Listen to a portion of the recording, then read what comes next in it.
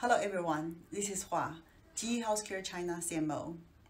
I'm very glad to say that nowadays, Chinese women has been playing more and more important roles in the society, as a wife, as a mother, and as a professional.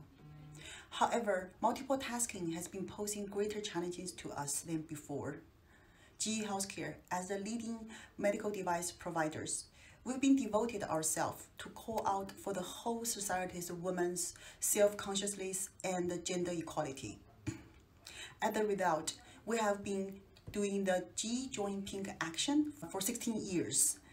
And in these actions, we actually bring the whole society to be more aware and the breast cancer disease and bring our women peers to early aware, early diagnose and treat the breast cancer and more importantly, taking a good care of themselves.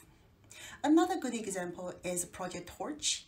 In this project, GE Healthcare devoted to provide care to the rural female teacher and the children's, to broaden the views to the environment and the exposures to the world.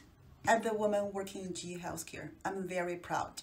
And thanks to all my women peers in GE Healthcare, as well as our male peers who support us. As a woman working in GE Healthcare, we choose to be better and we choose to challenge.